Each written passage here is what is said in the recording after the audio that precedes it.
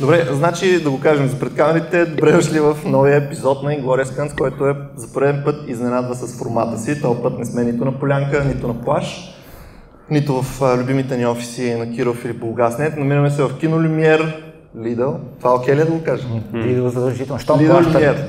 Жълто, преди да пазарувам в Калфанд, пазарувах само в Лидъл, просто в Калфанд има по-яки места. И сега отново. Така, а, нека не закривам, нека не закривам Влади. Оги, надявам се да не съм прецакал кадъра. Добре, по същество. Тук сме с Влади Апостолов, Благой Иванов и Димитър Дринов, за да си говорим за сиянието и всъщност какво по дяволите гледахме на големия екран и защо този господин а, с героя му Джак, както и Хобет от Дани, с героя си Дани, защо тези хора са направили толкова як филм, кой е Стенли Кубрик, Половерчето Аполо 11 хинт ли е към тайното заснемане на кацането на Луната или не, предстои да разберем. Тези конспиративни типове до мен и около мен ще помогнат да разбудим духовете. Така. Да започнем с Митко. Кажи ми, понеже виждам, че си принтирал някакъв начин, ти не си ек-френдли. Какво е това, което държиш и полезно ли ще е за публиката по някакъв начин? Не, естествено. Това е полезно само за мене. И понеже ни помолиха да запазиме така мил език, аз ще кажа курс за конспирациите. А, да, да си започнем както ние си започваме. първия единствен епизод на Американското посолство харесва това. Точно така. Един, един лайк. Те ще радват, защото ние вярваме, че са кацали на Луната. А, вие 13 пъти май? Не, 16? още- не, А, 5, още. айде, 5. 5 да го закръглим. Наистина аз вярвам, че са кацали на Луната и хората, които смятат, че в сиянието е закодирано факта, че Стенли Кубрик е режисирал кацането, за да може да излъжат руснаците, а че е бавно развиващ се. Хареса ми как закачи. Начало. Как Ти знаеш къде да ме клипнеш. Разбира се, да. Да. Няма да говорим за 11 септември тогава. Може ли по същество за филма? Добре, а, какво? Общо Чакай да кажа по същество. Защото когато един филм е шедьовър и когато така, не само филма на едно произведение на изкуството е добро, то а, предлага множество интерпретации. А, Стенли Кубрик е известен с това, че неговите филми могат да, да бъдат интерпретирани по много начини. Одисеята естествено, Сиянието. А, много хора твърдат, че в него е закодирано не само, а, да, гледам, извинявам се, не само нали, кацането на Луната, избиването на индианците, всякакви такива неща. Аз лично всеки път, като го гледам, откривам различни неща и в ситуацията, която съм в момента, ми повлия най-вече като семейна драма за един човек, който така е неспособен да, да вие в семейна среда. А, не харесва съпругата си, не харесва детето си. Единственото, което го вълнува е шефовете му да не са разочаровани от него. Но кои шефове не е ясно, защото единственото нещо, което така той иска да прави е да пише, а пък не може. Това е... А, не знам дали хващате връзката с другите хора, които не ме познават, но мисля, че всеки се е изправил пред такава ситуация и наистина това е в момента е моята интер- интерпретация на този филм. Човек не способен да, да изпълнява това, което обича, а се огради от неща, които не разбира и те го смазват. Тоест ти в момента го разглеждаш от гледна точка на почти 40 годишен мъж, който има проблем с работодателя. 37, да, с себе Почти си. 40 годишен казах, Със себе за теб е почти документалка, което е хитро, защото ако си в по-млада възраст и гледаш сиянието, най-вероятно ще се асоциираш с триколката или по-скоро с момченцето над нея. Ти искаш да караш Но не по кой начин, по който Кевин Спейси се асоциира с момченцето. Никога, никога не позволявайте на, на Димитър Дринов да се доближи до Брадва. след, след това експозе. До момченце също не трябва. И до, и до момчето, и до триколка, между другото. Разбира се, да. В смисъл, които сте ходили до родното с- градче на Димитър Дринов Владая, там има голяма брадва, която е много хубава. Е, Добре. Благодаря ти за това лирично отклонение да. и а, житейско така оплакване от а, твоя страна. Благой, може ли да ни върнеш он трак, понеже знам, че ти можеш да го направиш? Да, той винаги дерейлира. И между другото, Дринов е точно като филма. Симетричен, красив, нонсенс. А, но ние го обичаме ужасно много. А, Тя си по същество. Не, шегувам се очевидно, да, не ми се врази мен. А, той всъщност е прав до някъде за това, че всъщност може да се разглежда като семейна драма, но за мен книгата е повече семейна драма, филма е много повече нещо друго. А, тук ще си говорим и за това доколко филма всъщност и книгата има причина да се смята, че така, са ужасно различни и че хората, които много харесват книгата, може да не харесват филма поради същите причини, поради които харесват книгата. Влади написа наскоро чудесно ревю за Сиянието, в което точно това цитираше не само мнението на Кинг, което е много така крайно негативно, но и мнението на Брет Истън Елис. Според мен е спора относно това дали филма е добър като екранизация или не, не е толкова важен, колкото би бил важен въпрос дали ванилови или шоколадови сладолет е по-як. Ако не ти харесва, имаш право да не ти харесва. Това не означава, че и книгата и филма не могат да живеят самостоятелно и да са еднакво яки, но по различни причини. Ам, романа за мен е един от най-добрите жанрови а, една от най-добрите жанрови истории на 70-те години, може би едно от трите най-добри произведения на Кинг. Няма спор колко велик е сиянието романа. Обаче няма спор и колко велик е филма. И а когато се изпадне в спор книга срещу филм, цялата субективност тия подява, т.е. цялата обективност тия подявите за сметка на субективността. Според мен може да се разглеждат като филм на Кубрик преди всичко, точно за това е як филм. Както видяхме през 90-те години, ако сте го видяли всъщност, има един ужасен филм Сиянието на Мик Гарис от 97 година, който е телевизионен, който е много верен на книгата и всеки, който е гледал този филм, има травми от това нещо, защото филм е ужасяващ. Тоест, не винаги точното е вярно и хубаво. И този филм доказва това. Аз смятам, че това е една слаба екранизация, но ужасно добър филм. Вероятно Шели Дювал с машина на времето е отишъл в 97-ма, гледал е тази екранизация и в последствие касната, за да изиграе тази нефелна чудесна Ти виждал ли си как изглежда сега Шели? Не, няма значение как изглежда, просто че тя винаги ме крипва. Мисля, ако въобще си говорим кой, кой какво го крипва. А, жената на Джак Торънс, както и Димитър Дръмов обича да казва, е как няма да откачиш браче, ако се заключиш с тази в хотела. Нормално е. В смисъл, наистина, освен, че и хлапето, хлапето през цялото време даваш сигнали, че нещо не му е наред. Говори за някакъв Тони в устата му и подозирам, че Кевин Спейс ще играе Значи този филм от първия кадър не е наред. Да. Не съм сигурен, че одобрявам да ме пипаш, когато говориш за Кевин Не, Спейс. просто е наистина. Смисъл, Джак Торънс, героя на, на Джак Никълсън, нямаше абсолютно никакъв шанс в този хотел, дори и да искаше. така че, Тук само casual сексизъм ще има цяла вечер, усещам. Окей, Да, съвсем лекичко. аз не видях сексизъм. Никакъв. Е, Това филм сега е не може. Освен това има и думата негър, спомената три пъти. Филма е от коя година е, Димитър Ужас. Дрилов? 80-та. Ами, може да се пренесеш в а, времето, когато е правен този филм. По-хубавото И- време. Така, освен това, героя, който подхваща темата, в коя епоха си мисли, че все още съществува? 20-те. Ти Но ми кажи. не, не, не просто имаме а, 4 юли споменаването. 21 показаха ли ти го достатъчно близо? Не А, ти, айде, разсъждай върху тази тема, не те чухме тебе сега. Какво да разсъждавам? За тази епоха. Не, няма какво смисъл.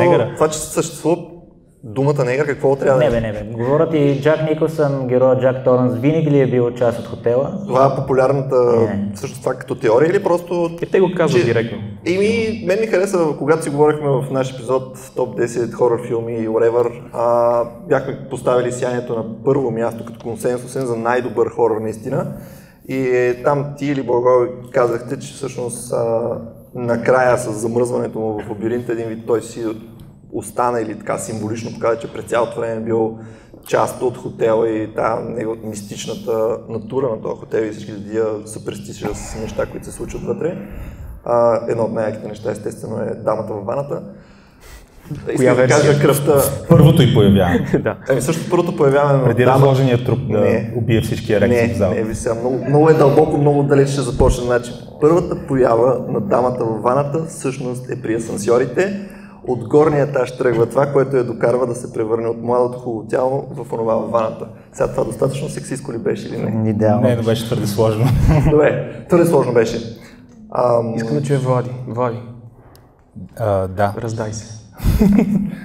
колко пъти гледа сиянието? А, аз съм гледал сиянието около 20 пъти а, между 17 и 25 годишна възраст. Сега съм много, много, много, както всички виждаме, въз, по-възрастен. А, и не бях гледал сиянието от 6 години и се притеснявах, че ако сега го гледам, няма да ми хареса.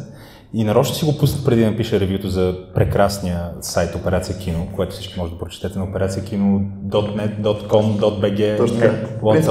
Да. ще излезе. И да, и го, и, го, и го гледах и наистина се почувствах прекрасно, защото филмът беше още по-добър, отколкото си го спомних. За разлика от много неща, които знаеме, имаме привързаност в младостта си, носталгия, но те не са толкова качествени. Сиянието е великолепен филм. Аз искам да се върна само за една от тези основните опозиции. Е- един от основните спорове е опозицията между Стивен Кинг и Стенли Кубрик. Идеята е, че а, и от Брет Истън в неговия анализ, че Стивен Кинг е един хуманист, воден от основанията на морала, който иска да покаже как един иначе праведен мъж просто е а, сломен от порока на алкохолизма и а, ударен допълнително от тази изява на свръхестествени сили, които са силно подчертани и ясно разпознаваеми в романа, който аз не съм чел между другото, а, което е грях. А, и благодарение на тях той се превръща в този архетипния убиец с брат, който преследва семейството, иска да ги заколи, да ги нареже на малки парченца, да ги подреди в, в залата с месото. Идеята обаче е, че в някъде по време на романа, докато го четете, вие трябва да, да осъществите и емоционална връзка с образа на, Стивен, с образа на Джак Торънс. И да, Кинг е своя и, да, писател. Да, и да почувствате неговата тревога. Между другото, Стивен Кинг е бил алкохолик, когато е писал този роман и много от личните му а, преживявания са влезли в създаването на творбата. При Стенли Кубрик ситуацията е драматично различна. Още с първите кадри виждаме този мефистофелски приятен поглед на Джак, който обещава и възвестява изблици на лудост, екстравагантно насилие и а, и очевидно, че филма работи извън каноните на жанра, извън предписанията на романа. И това е страхотно. Аз съм изцяло за. Само искам да кажа, че пред свръхпродуктивната тази свръхпродуктивност на Стивен Кинг и болния перфекционизъм на Стенли Кубрик, аз избирам, избирам Стенли Кубрик всеки ден от седмицата. Ще ти опонирам след малко. Браво, кой пляска? Здрасти. Съпостараем. Помислите за моята теория, че цялото нещо е едно проклятие на героя. На героя от 21 година, който е на края на снимката. Проклятие на героя или на индианското гробище, което е бувши? И смисъл, че е осъден да го изживява отново и отново, непрекъснато? Точно, първи този. Кой иска да отговори? Е, Има, има Ами, едно, една сцена, която е отпаднала от филма. А, сцена, в която Улман ли се каже, той е Галфон от Да. началото? Шефчето. Шефчето. Първи. Да, първи Нюто, да. Защо да ги опомня? Така почва книгата с това из- изречение. Няма значение.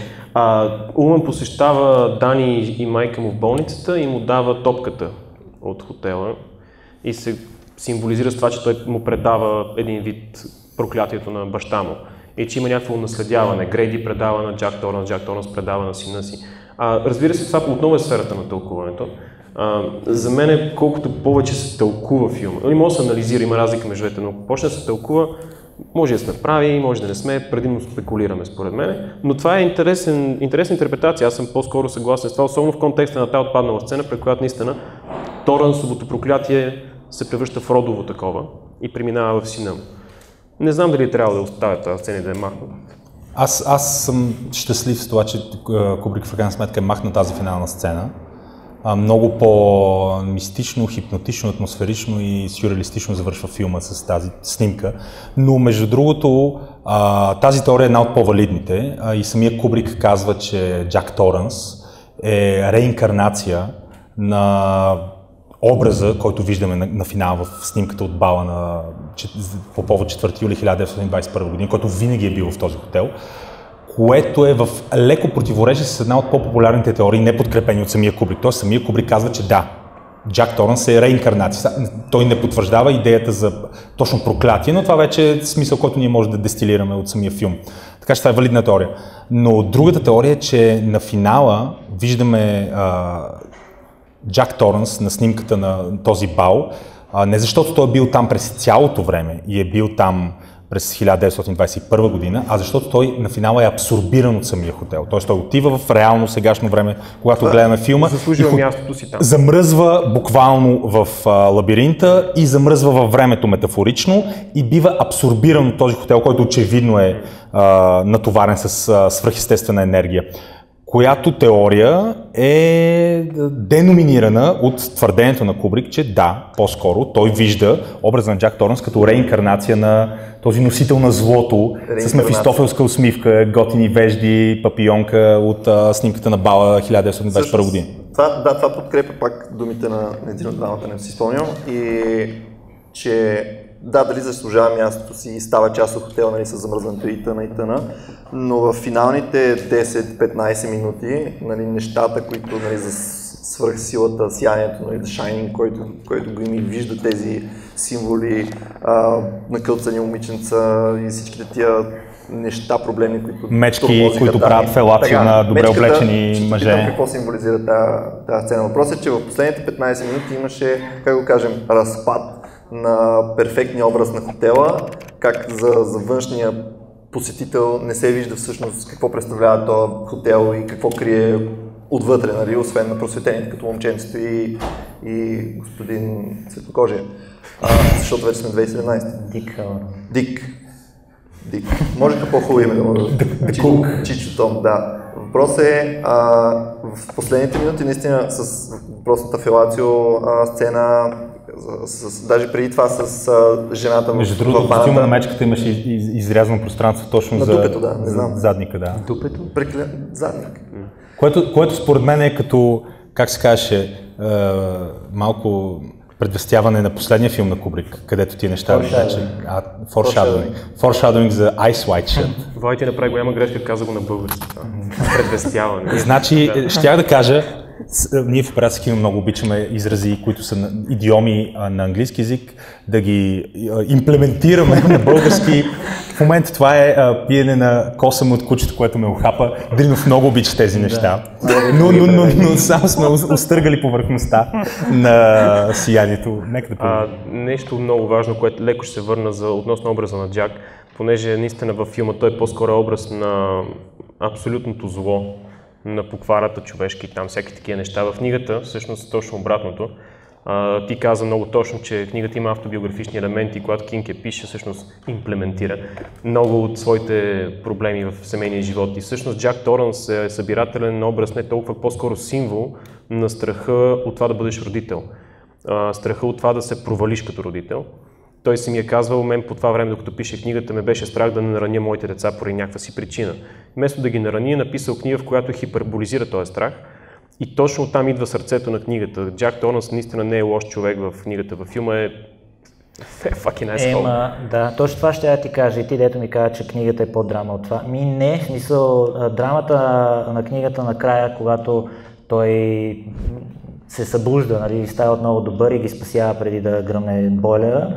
Окей, някои хора намират сила в себе си. Този, тази инкарнация на, на Джак Торнс не вижда а, такава светлина. Има само един момент, в който го виждаме нормален, когато сънува съня, а, че ги убива и а, според мен там е истински човек, нормален и ние ще му се чувстваме. Аз съм съгласен. Просто, а, че си неспособен да, да преживееш нещо На- такова. Напълно съгласен. Въпросът е, че за, за Кинг е важно този човек да се реабилитира, защото той иска самия да бъде е реабилитиран. защото е излял себе си. Именно, именно. Защото Кинг е хуманист, а Кубрик е мизантроп и нихилист. Той мрази хората. Е, Той- абсолютно сте прави. Самата идея- Определение. не, не, сама- не, не, да, не, окей, не. съгласен съм. Кубрик е студен режисьор. Ма няма Естествено, студен, а, да че дистанциран, дехуманизиращ. Това, макар да е факт, не е лошо нещо за мен. Тоест, това не пречи филма по никакъв начин. Да.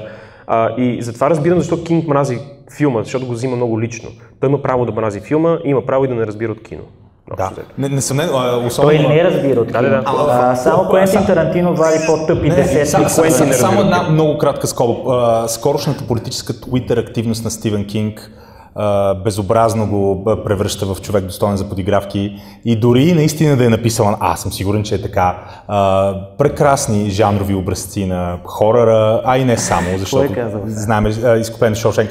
Кинг не заслужава много уважение. Сега, Кубрик не, не е жив за ерата на Twitter да се изложи и той с някакви глупости, но, но, но наистина много повече признавам си, мога да съм biased, както обичаме да казваме на модерен български, много повече съм привързан към този студент, дехуманизиращ, нихилистичен, ако искаш да го кажеш, подход на Стенли Кубрик, отколкото на хуманизма и морализаторската поза на Стивен Кинг. Тоест, за мен, обективно погледнато, което също може да е материал за дебат, може да го сложим на масата и хората и да се включат, за мен Стенли Кубрик е много по-голям творец от Стивен Кинг.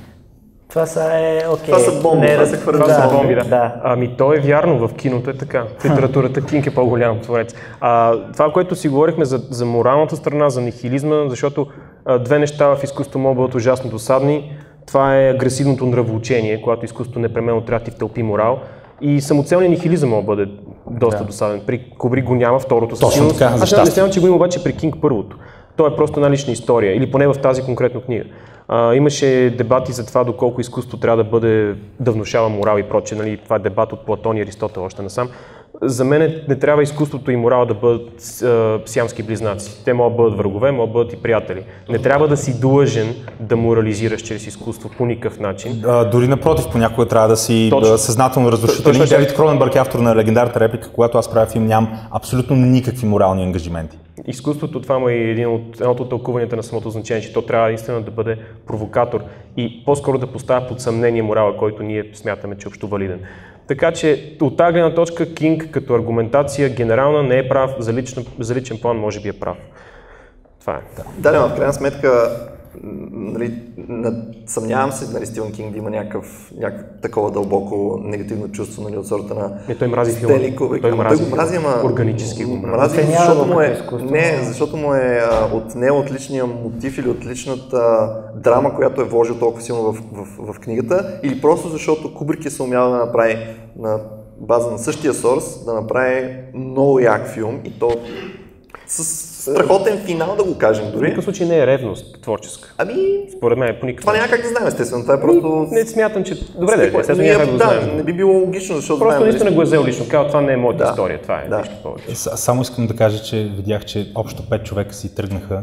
Дали не е сега момента да извадим а, триколката, двете сестри и голата жена? Или трябва да изчакаме още някой друг не? да напусне тази сакрална и може би прокълната зала? Не, не, няма нужда. В смисъл, който се чувства неудовлетворен от дискусията, разбира се, може да напусне. Ние нямаме. Може да ни прекъсва. Ще ви запомним. Не, бе. Имената не са записани. Поименно всички са снимани. Не, не, сериозно, ние се радваме да ни обяснявате, що не сме прави, за каквото ви хрумне, така че Да, така че подгответе си въпроса, защото скоро ще има пауза. Добре, искате ли обаче да спрем за курс за Кинг? Боже, аз си Много го казах. Къде да. си, къде си? Знаеш кое е лошо? Тя би оценила, че го казах. Тя е срещу А, мен непрекъснато ме гледа лошо Така ли, тя ли? вас, копеле. Да. Тя си гледа лошо по принцип. Поинтът ми е друг. Да спреме за Кинг, не е толкова интересно това, да говорим за самия филм. И за това защо всъщност от чисто филмова гледна точка, т.е. като кино този филм работи. Защото Кубрик е шипантини. Защо Кубрик е гений? Да, това е добър въпрос, Елче. Ами, човекът го има в себе си.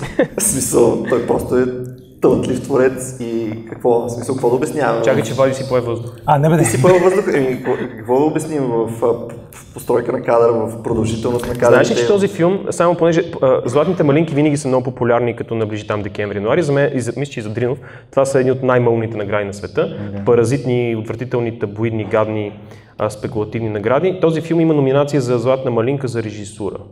С това се изчерпва темата, доколко са релевантните ужасяващи награди. Е, Между другото, има, има, има, награда, има номинации за Шели Дювал, там няма да Било е споря. в зората на тези награди, най-вероятно. Не ги оправдавай.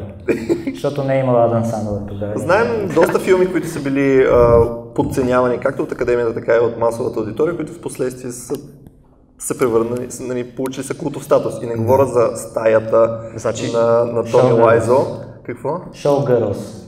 Стига с този шоу, този човек. Е големия Лебовски, ето ти пример за това как той филма е неуспех. Лебовски не е underrated филм. Не, но специално е бил. Сиянието е първият филм на Стенли Кубрик от десетилетия, който няма никакви номинации за Оскари. Не само, че няма номинации за Оскари или за Златен глобус и други престижни а, статуетки и награди, той има, както вие казахте, номинации за антинагради. Тоест, голяма част от критиците, когато филма излиза в а, началото на 80-те години, смятат, че филма е буклук. Разочарование, Роджер. Ебърт, който по-късно го включва а, в своя списък с един от най-великите филми, но когато филма излиза, той не е доволен и много от хората не са доволни от филма. И това наистина е изключителен пример, според мен, за продукт, който е а, наистина част от а, своята епоха, защото не съм сигурен, че ние можем да бъдем свидетели на нещо подобно в днешно време. Филм, който е обективно погледнато гениален, Няма в как да го видиш, да го видиш след и да го 10 оценим след време. Давай, Вали, да си говорим пак след 30 години сме живи, ако не сме се пропили. Как, как ще...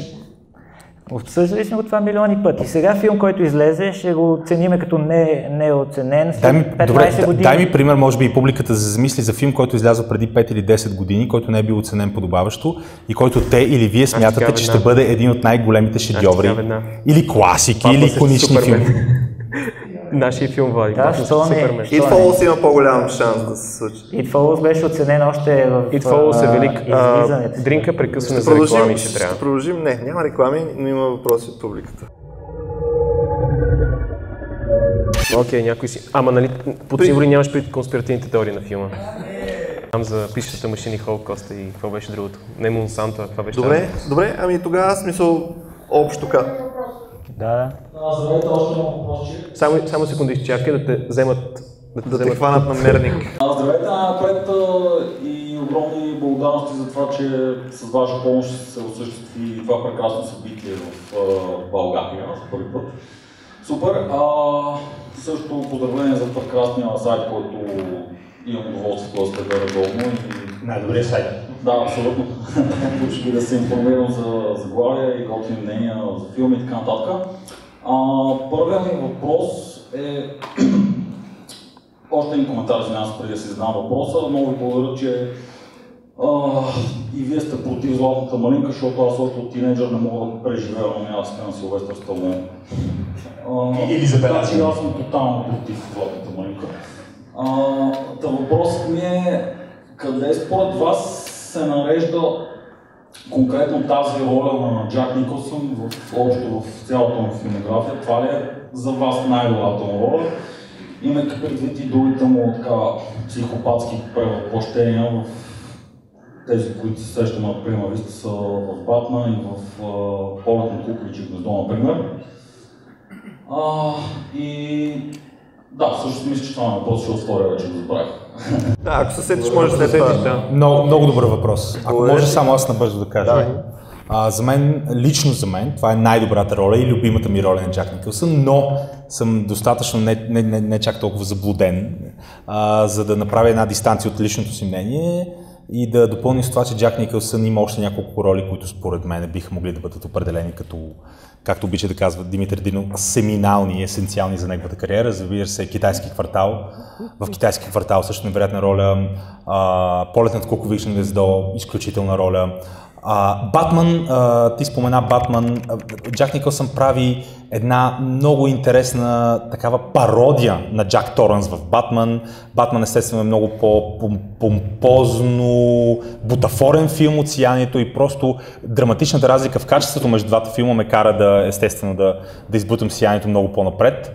А, в по-късната кариера на Джак Николсън той отново прави невероятни роли, дори в, от другата страна Мартин Скорсезе, преди това в Карнално познание на Майк Никълс. За мен сиянието, обективно погледнато, Джак Торънс, образа на Джак Торънс е един от най-добрите персонажи, изграждани някога от Джак Никълсън, може би в топ 3 обективно, номер едно за мен.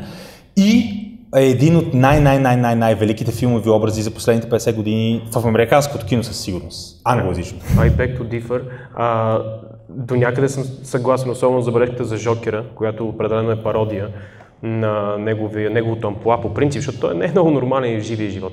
Но моята любима роля на Джак Никълсън всъщност е роля, която е по-скоро анти-Джак Никълсън роля. Аз много харесвам клетвата. М- сега ще си изложа кой беше Шон Пен. Шон Пен, да. Той е ремейк. Не се изложих обаче, казвам преди те. Та, в, Шон, в, в Шон Пен. В клетвата той играе превъзходна роля, която не е типична за, за Джак Никълсън. Аз много уважавам, когато някой успее да постигне нещо наистина достойно на всичко предишно, но тотално противоположно като подход. Там почти нямаш спомен от този студен жокерски Джак Никълсън, психопатски Джак Никълсън. А, много е уя- уязвим там като персонаж и като подход към ролята, което е ужасно силно.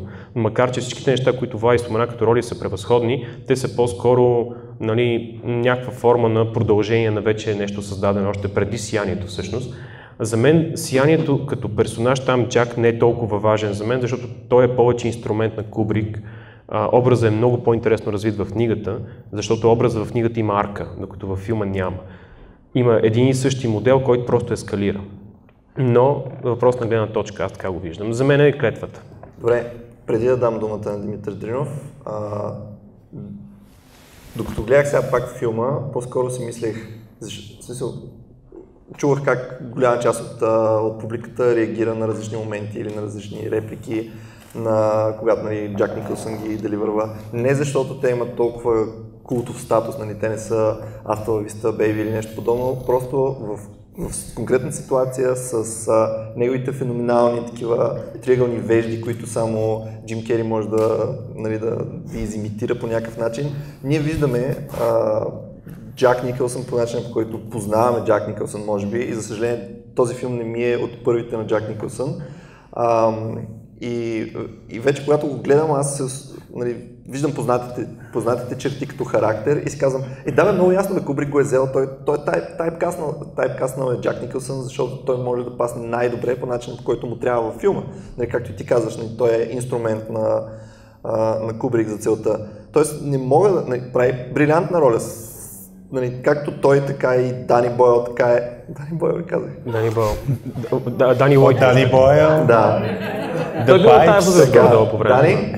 Дани Лойд. Дани Лойд. Ето, Бойл, Лойд, как си да е, моя грешка, а, лапсус, както казва Димитър. А, така и Шели Дювал.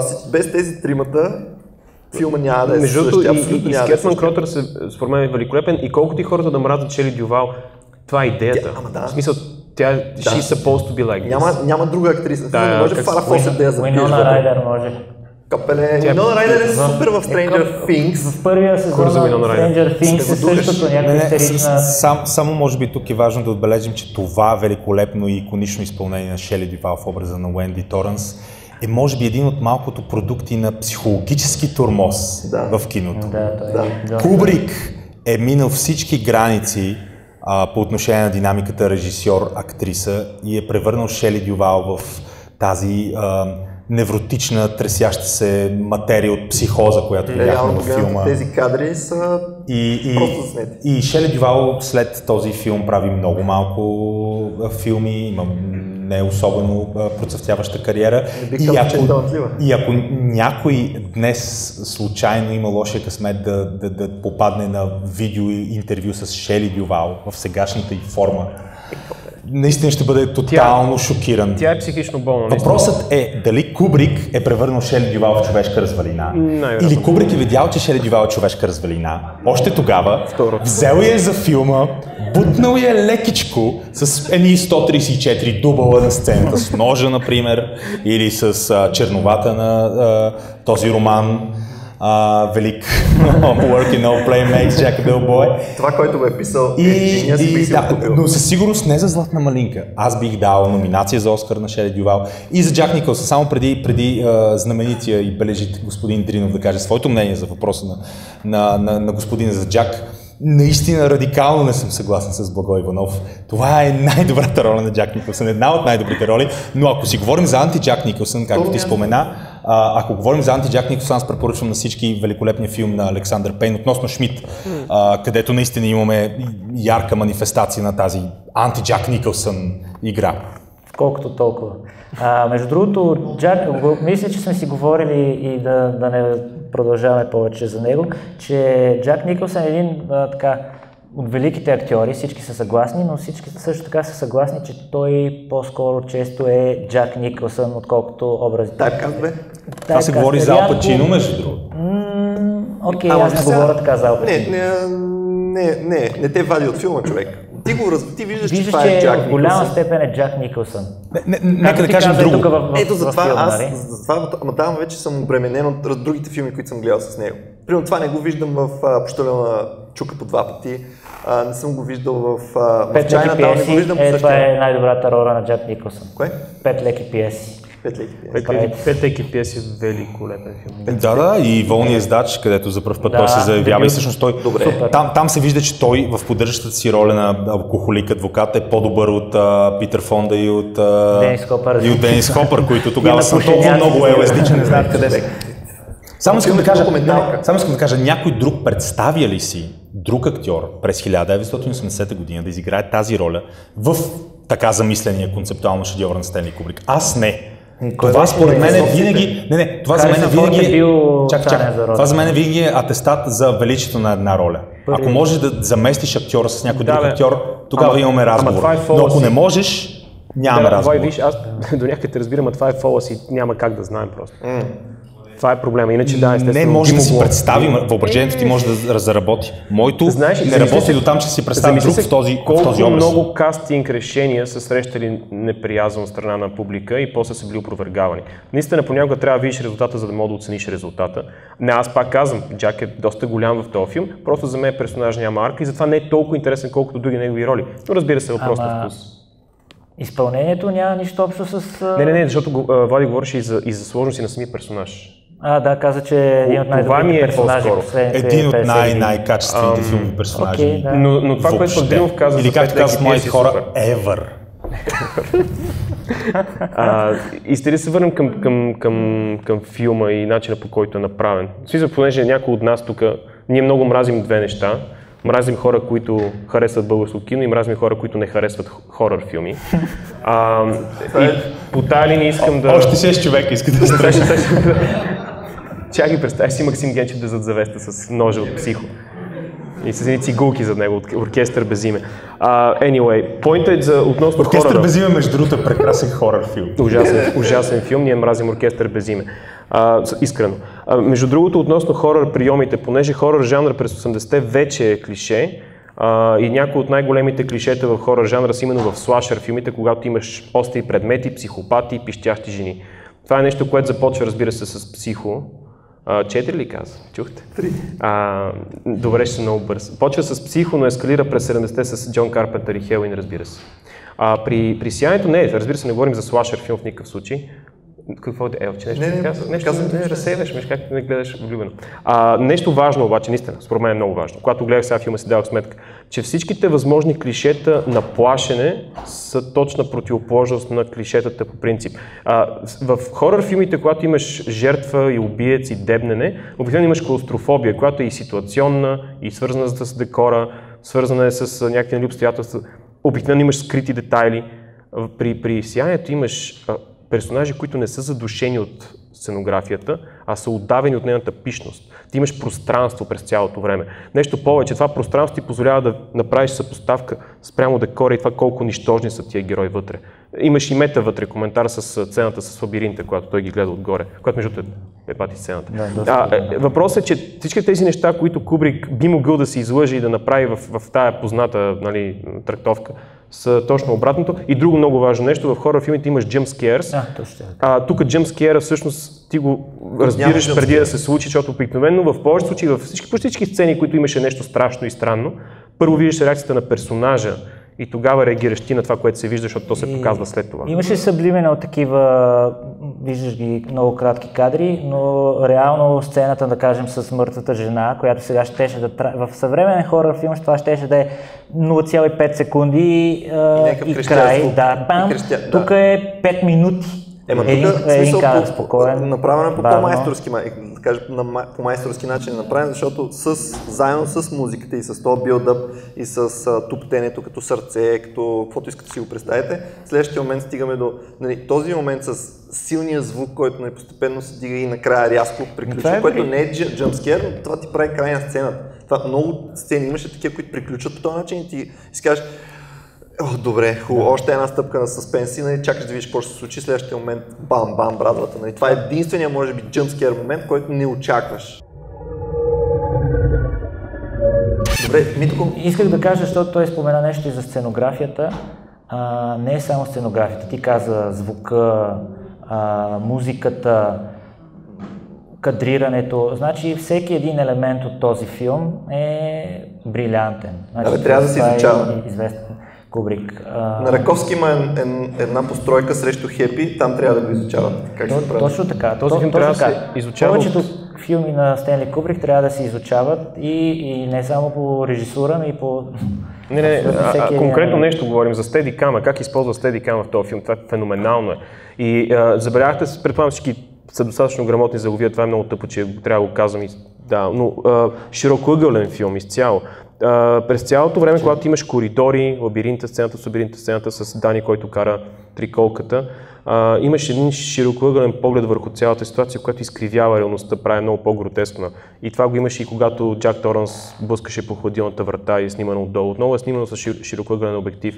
А, смятам, че този филм във, във всяко отношение може да бъде пример за това как се прави добро кино, мога да разбера до някъде, че не всичко може да се хареса на всеки. Аз имам два-три малки проблема с филма, но не мога наистина да приема, че някой не мога да бъде възхитен от майсторството на Кубрик. Не само в този филм, но този филм според мен е някакъв, някакъв концентрат на Кубрик в всяко едно отношение. Психология, сценография, движение на камера, употреба на аудио, нали, уискито е много важно, Джак е много важно. Да, употребата на всякакви а, а, аудио елементи, които са...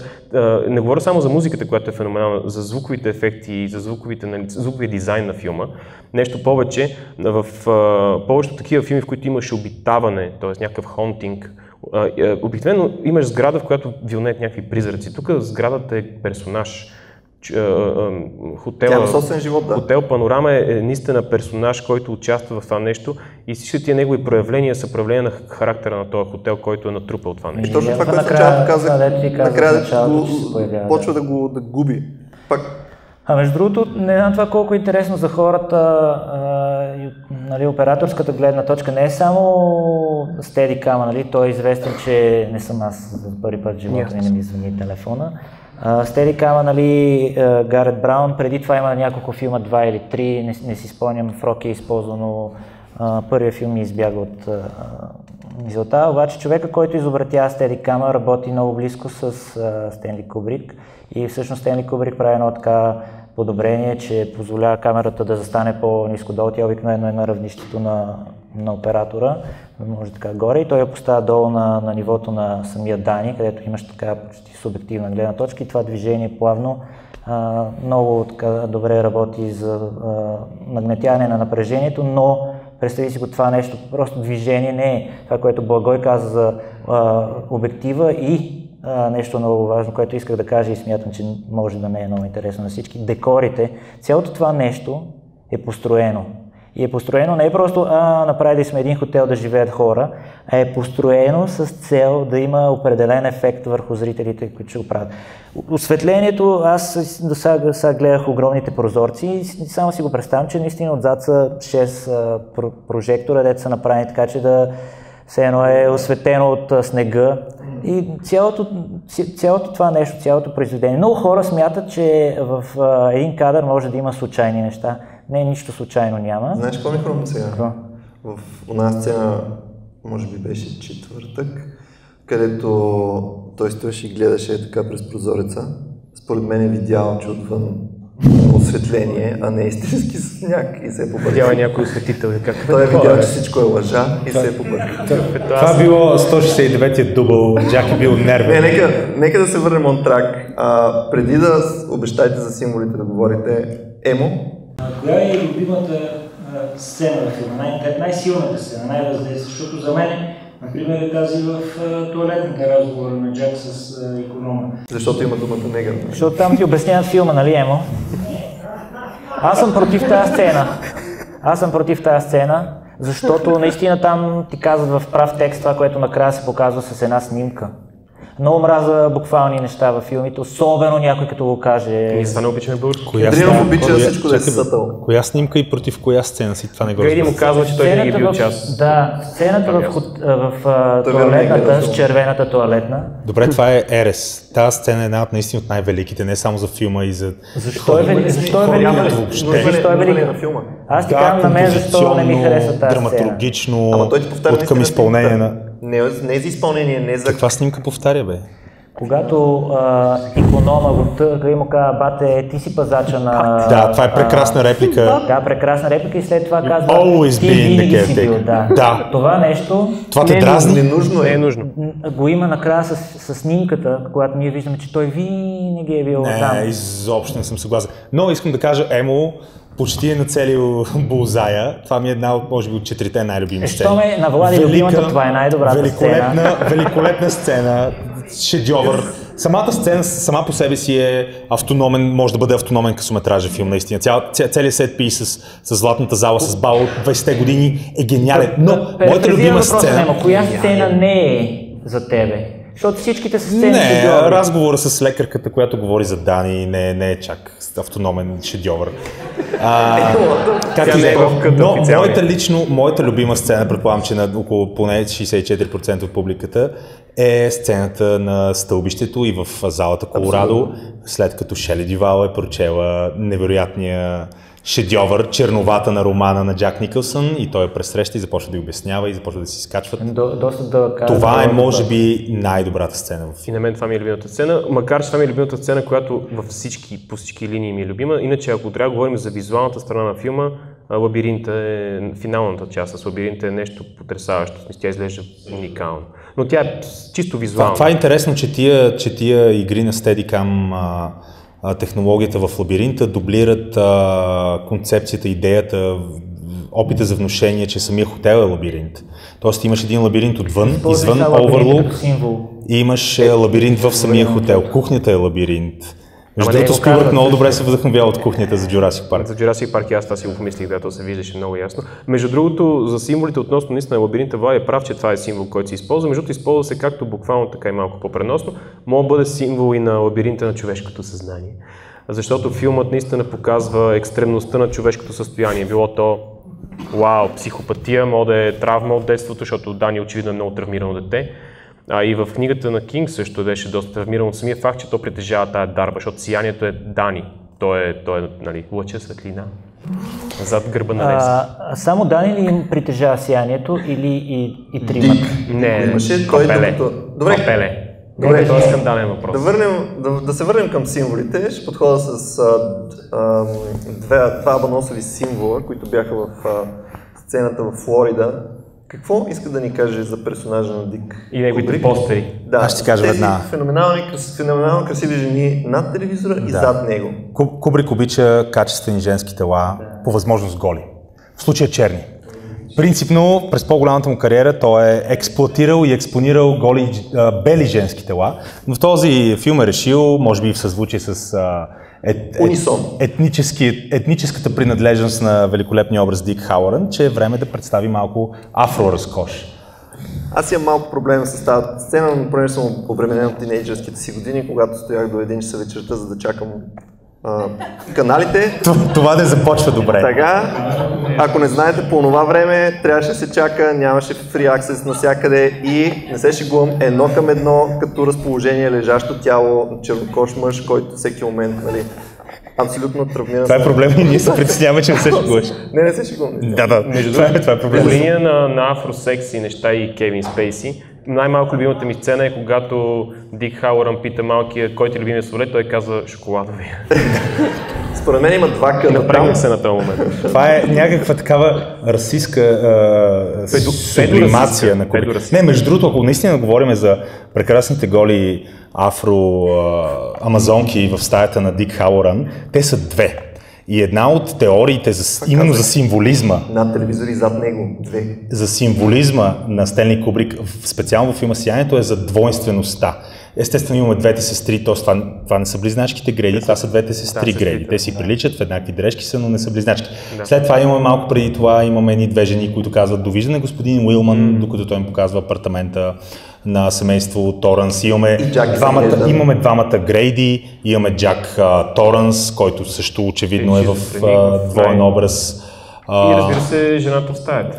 точно така. И използването на труп. огледалото Да. в няколко момента и, И, и, също, също един любопитен момент, който някои хора а, подчертават, че е много важен, аз съм не съм сигурен до толкова е, доколко е толкова важен. Винаги, когато Джак Торнс, Джак Никълсън говори с призрак, дали е бармана Лойд, дали е а, Грейди, той гледа към огледало. Или когато гледа им отключи вратата, гледа към една врата, която има Това е опасна плоскост, по която се пускаш. Аз разбирам какво имаш предвид. Между другото, наистина един от важните символи в филма е тази двойственост, именно и заради огледалата, защото това го има в, и в сцени, в които нямаш свръхестествено, по презумпция свръхестествено. А, тук е плоскостта е опасна, защото има спор доколко всъщност сиянието филма, за книгата не говорим, там е ясно, че всичко е свръхестествено, но има спорове доколко филмът всъщност е всичко, което виждаме и е странно, и е неестествено, и е паранормално, не е някаква колективна делюзия на семейството, възоснова, нали, разбира се, на така наречения Кевин Фивър. Отново обаче,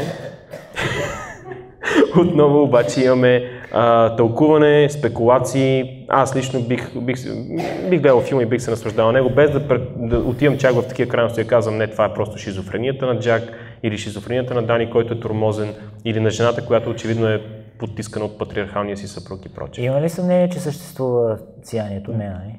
М, Според мен няма филма. никакво 100% а когато съществува. той, а, Халоран казва, че тази дарба се предава от поколение на поколение, не е ли логично някой да предава... Не е задължително, защото бабата на Хауран има сиянието. Хауран, между другото, е персонаж от романа То на Стивен Тоест Кинг. да прес- прескача. Само да кажа една тривия. Ами не, пак ти казвам, може да прескача поколение. Мисля, че беше Питър Лъдлоу от Изгубения свят Jurassic Парк, на когото Иан Малкъм каза, ей, спокойно, таланта прескача поколения, твоите деца ще са много талантливи. Now you're John Hammond. Да, Добре, въпросът е дали сиянието се предава и по полов път. Това романа аз и филма. плоскост. тествал тази теория. Аз само, не искам да кажа много накратко, че за мен е не, не, абсолютно недвусмислено, че филма съдържа автентични, свръхестествени моменти. Да. А, Стивън, не Стивън Кинг, не Стивън Спилбърг, Стенли Кубрик го потвърждава. Филма има истинско, т.е. той умесва автентичната психоза на тези персонажи, които бавно и постепенно поудяват в изолация а, в хотел Оверлук с а, реалното присъствие на свръхестествени а, образи, елементи в хотела. Тоест, поне, що се отнася до мнението на автора на този филм, няма дебат относно дали има истински свръхесте, истинско свръхестествено присъствие в сиянието или няма. Защото това е истински дебат. Но те са само плод девайс, те наистина не са фокус.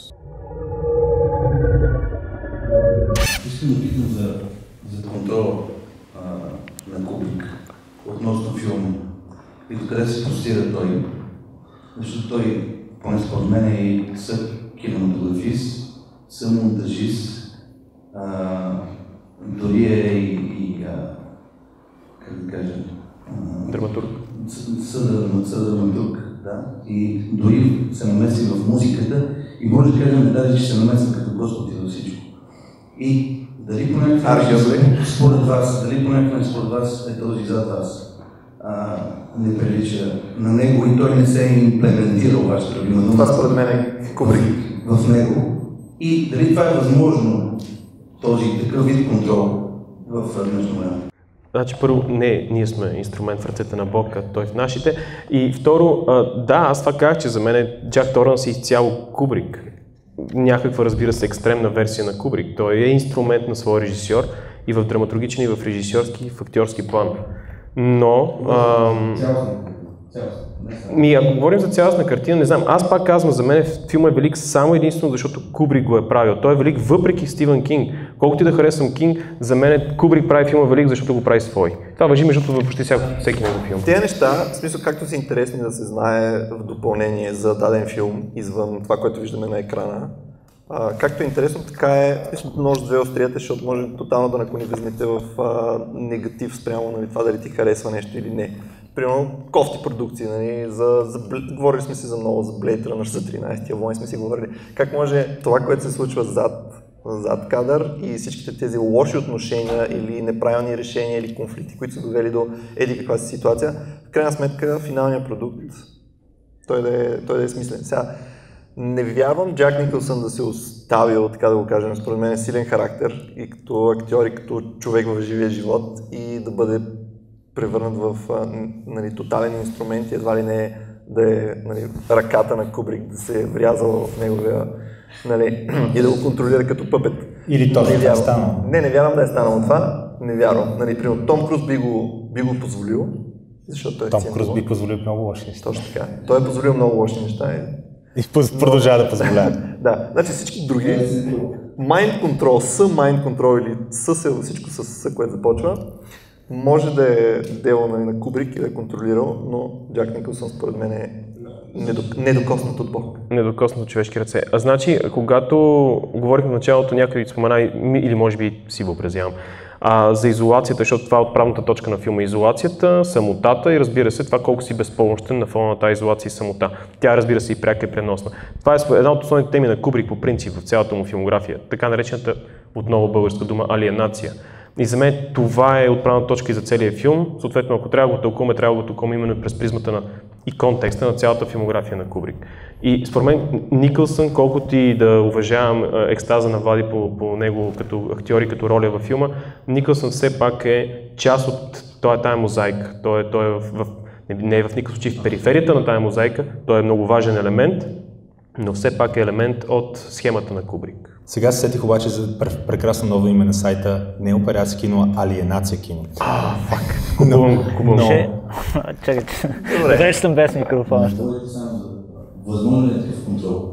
Именно, не, това исках да кажа, че а, може би едно от малкото имена, ако не е единственото. Харви Лайнстейн Не, не, еди, единственото по рода си име, което, което упражнява такъв тотален контрол. А, либералната, либералната демокрация била пратена под дяволите на снимащите площадки на Кубрик. В сравнение с него Сталин е като Джастин Трюдо. Кубрик е бил тотален и пълен автократ и диктатор на снимащите площадки. Кубрик е правил неща, които дори и Хичкок никой никога не си е позволял. Договор на Кубрик с Warner Bros. през годините е цитиран от много специалисти и анализатори като най-най-най-най-най парчето документация, договор, който е позволявал на един режисьор да упражнява възможно най-пълния без паралел контрол върху филмите, които е снимал. Така че наистина може да кажем, че Кубрик се отличава от, от всички останали режисьори в Холивуд по своето време, а неговата е продължила в продължение на близо половин век, 4 десетилетия, със сигурност. А, и никой, никой, никой човек не е, не, е, не е имал тази власт и размаха на Кубрик. И самия факт, Сиянието е снимал в продължение на една година. Това е почти немислимо за мейнстрим, комерциален, холивудски филм в днешно време. Снимките му да продължат една пълна година с стотици дубли, само 3-4 главни персонажи, главни актьори. Само Кубрик е може да си позволи подобни трансгресии, подобни екстравагантни и капризни а, желания. Така че да, аз съм сигурен. да не може? Не, не, наистина. Аз дам съвременен пример. И аз. Е, да, единствен, не, единствен, Аз- човек. Една година ли? исках да го се шегуваш, спомена. защото е сниман в продължение на не, година за Не. Влади е прав. Не, Влади е също прав. Кубрик, Кубрик, освен с, с чистото си майсторство, е, е отделен в канона на големите филмови а, режисьори и с безпредседентния контрол, който е упражнял върху филмите, които е правил. А той е направил и много малко филми, нека не забравяме, за разлика от Хичкок. например. Добре, гледай сега. Значи тук пак, е- пак е на спекулация, а, дали може или дали някой би дръзнал да го направи. Нали? Първо аз не смятам, че Shining е мейнстрим.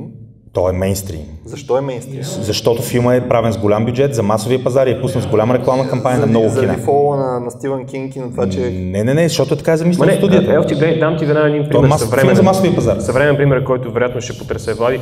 Дюн Керк на Кристофър Нолан. И- Не, Само така, само така, не само така, хората ми твърдят, плюс- че Дюн Керк не е комерциален филм.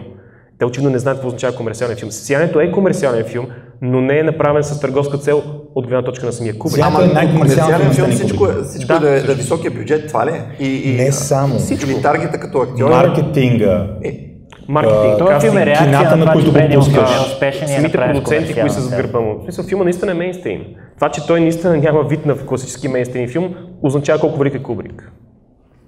That's my point и неговия point. Да, и между другото, единственият режисьор, не като талант, но като влияние, което упражнява върху, върху продуктите, които произвежда, който може в съвремето да се сравнява с Кубрик, за съжаление до голяма степен е Кристофър Нолан, който е много далеч от Кубрик като качество. Аз харесвам Кристофър Нолан, само след Дюнкрек го преоткрих, но, но, но единственият режисьор, който, който Трябваше днешно да, време... Още трябва да да и други И, негови не, филми. не, не, или, или а, вече в а, света на по-низкобюджетни филми, хора като Ларс фон Триер, като Никълс Винни Аз би посочил Пол Томас Андерсън. Като най-близко до това нещо. Особено Също, но те, да, но те не правят големи, те не правят филми за масовия Да, пазар. да, това е така.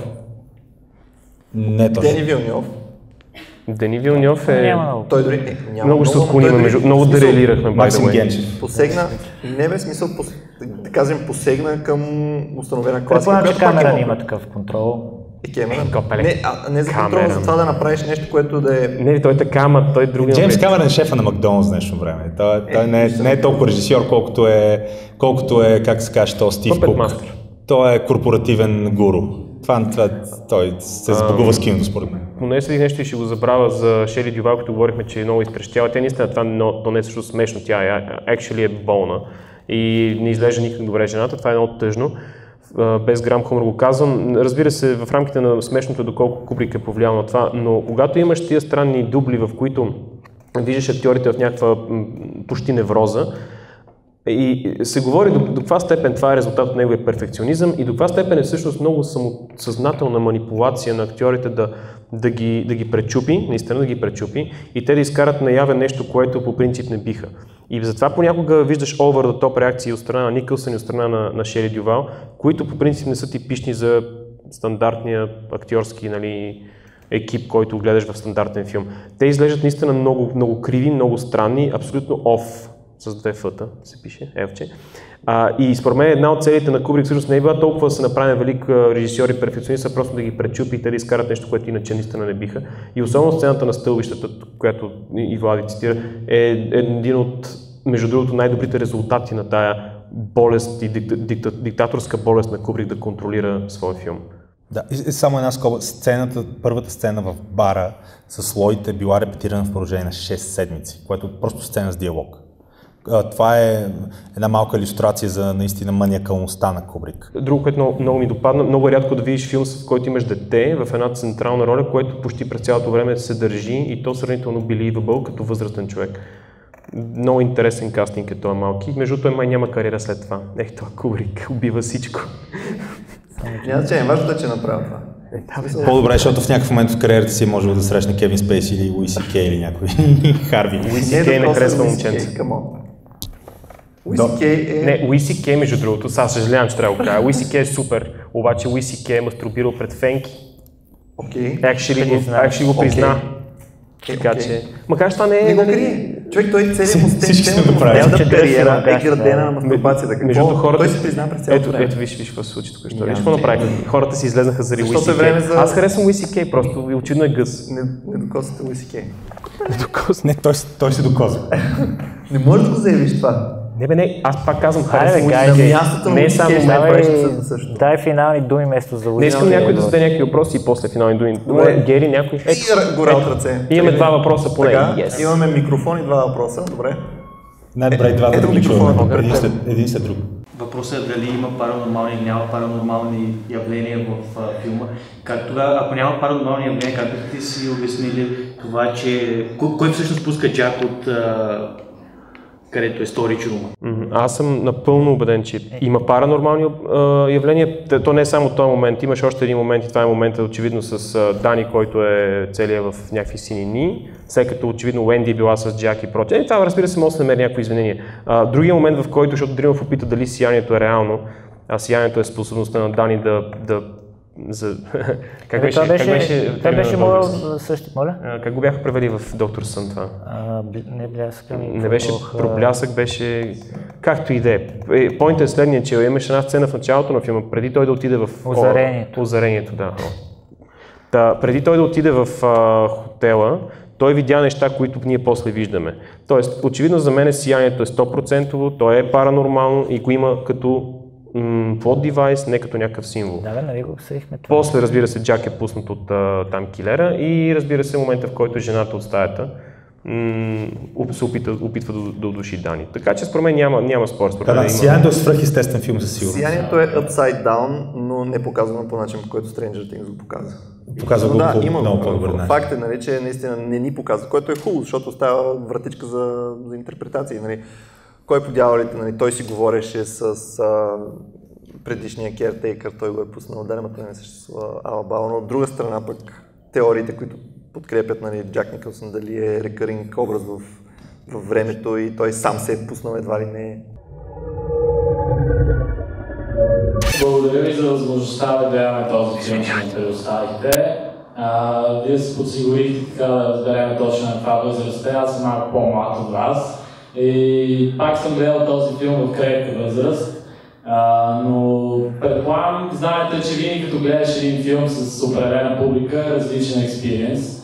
Сега някакси като го гледах за първ път с повече хора, усетих една такава като че ли комедийна реакция от публиката. Някакви хора се смяха.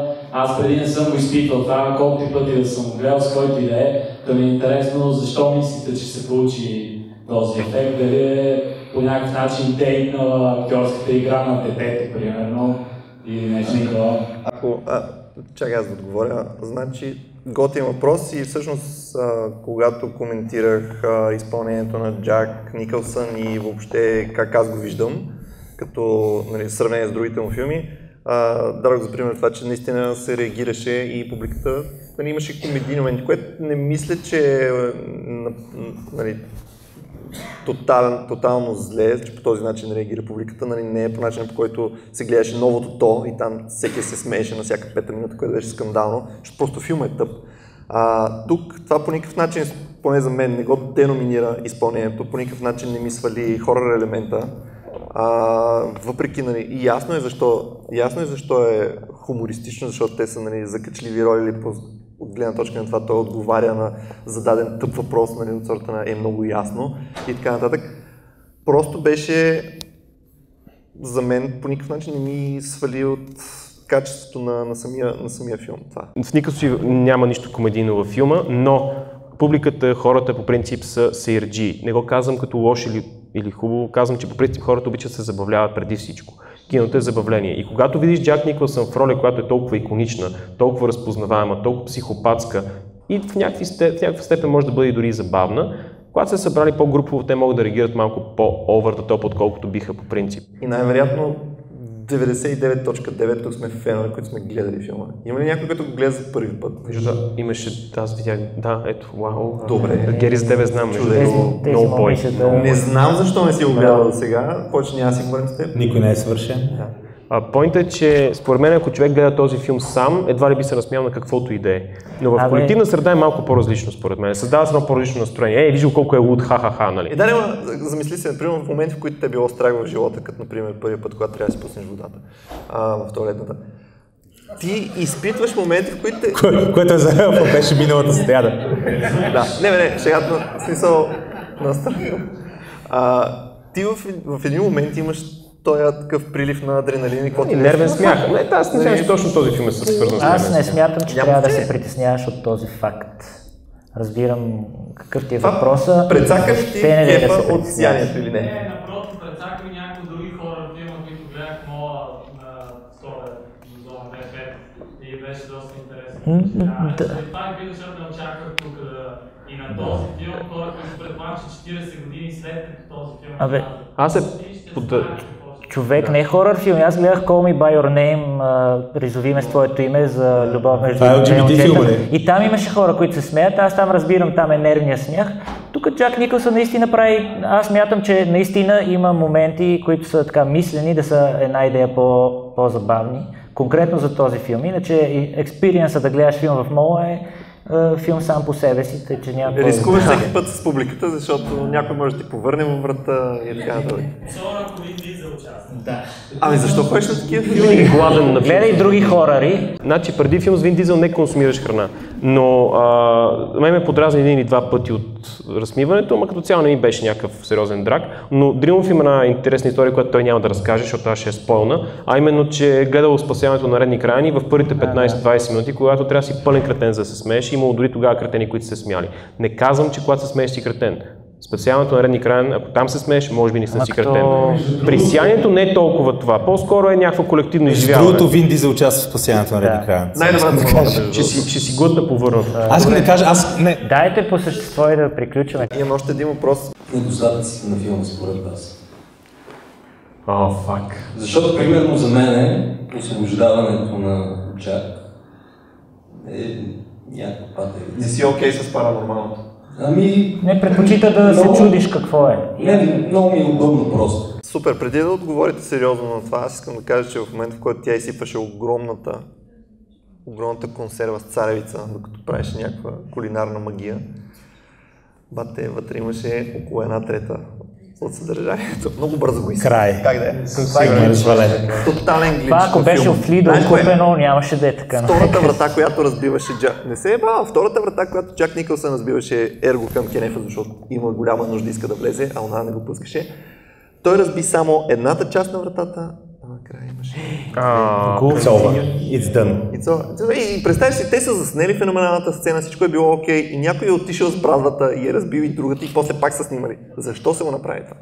Сега, това, това е отклонение. Да, между проблеми. този въпрос предполага цяло предаване за евентуалните недостатъци на сияние, които между според мен, според Вали, те ще бъдат мираж, такива няма. А, аз, се подразних на, аз се подразних в началото на сцената с а, първенюто на работодателя, м- когато той му разказваше историята, което очевидно беше, съжалявам, че ще го кажа Елче, Беше пушка на Чехов. Пушка на Чехов, ама първо на първо, Не, ако ти е- разкажат нещо подобно е, на че- вход на интервю, ти ще отидеш ли там? Не, поинтът е друг, че в момента, в който той го разказва и Джак Николсън реагира с неговата мефистофелска усмивка и казва, това няма да ми се случи. Ти иска, копеле, очевидно ще се случи. Беше нещо, което сега ме извади, никога преди не, не ме е дразнило, но сега ми беше много obvious. Беше. Това за мен е един от големите плюсове на филма, да. И между другото, друго, другото нещо, което пак и за тебе е плюс, това беше сцената в Кенефа, в която аз също смятам, че репликата ти си винаги бил част от това място не е нужна. Да. Както не беше нужно и Джак Николсън да каже, няма да имате проблем с мен. Не е нужно да го казваш. Ами гледай сега, той е малко... Явно е за, я знам, за рилоча. Защото като гледаш, пак си е, е, знам какво ще направи. Ма, ма между другото, това са толкова бели кахари, че не е истина. Ами Белика хариса, естествено. Това е- Смисъл, ти не А, можеш да го но, пипнеш. но аз съм нали? съгласен с, с, с, с момчето, което задава въпроса за, за, за, отключването, че може при някой човек да не проработи, че всичко до този момент е вървяло по някаква линия и изведнъж скача наистина в нещо много по-различно, като чисто сюжет, сюжет говорим. Това е, а, а, недостатъците на сиянието могат да бъдат а, консолидирани под а, много модерната българска дума nitpicking. Няма истински големи недостатъци. Аз съм съгласен с този недостатък, защото това е моето лично мнение. Когато гледам такива филми, аз обичам а, решението дали е свръхестествено или не е свръхестествено да е за мен. Аз затова задах този въпрос. Тук всички сме се обединили около това, нали, че да, има свръхестествени моменти в, в сиянието, обединени, както каза Влади, с, с такива психологически а, проблеми на героя. А, но ако не е посочено така директно, като отваряне на врата, а все пак а, може да, да се разсъждава в една или двете посоки, всеки да си извади изводите, за мен работи повече.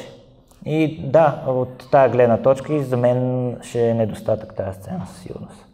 А, да, седих се нещо, което ме беше подразнил на времето. Сега не толкова, че Дик Хауърън се поява за да умре. Ясно, че той се поява за да им осигури транспорт на обратно, ама това беше черния да го убиеме, нали?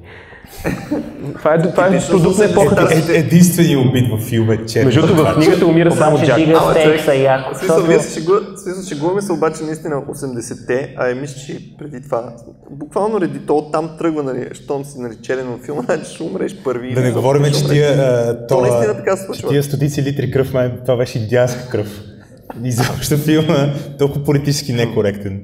Между другото, в момента, в който той казва на жена си, ти иди в кухнята да ти разкажат как, как се работи в кухнята, аз бях такъв, вау, феминистките в момента са пометни. Да, те завеждат жената Да, да. веднага в кухнята. Кухня лабиринт. Този е филм е невъзможен през 2017 година. Трябваше да има сцена как... Не заради това обаче, защото няма кой да заради направи. Според мен в модерен ремейк на Сиянието, което надявам се никога да не се случи, а, Мелиса Макарти ще изпълнява ролята на Джак Торнс. Вау, то, просто- този знак значи тайм-аут, не е... Тайм-аут е... Да, почти. Тай малко приключване. Да. Аре, давай да... Аре. Closing. Добре, отговорихме на всички въпроси до някъде, докъдето успяхме да за... И ми извиняваме се, сега отвън ще отговоря на другите. Да, а, увлякохме се, което е нетипично за Inglourious Basterds, естествено.